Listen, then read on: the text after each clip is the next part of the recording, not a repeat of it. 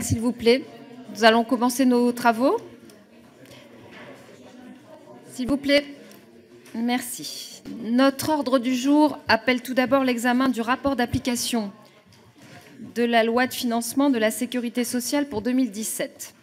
Avant toute chose, et je ne ferai pas à chaque fois, mais je voudrais souhaiter un très bon anniversaire à notre administrateur, M. Vincent Voilà. Rassurez-vous, je dénoncerai pas à chaque fois, hein, mais là, j'étais vraiment à côté.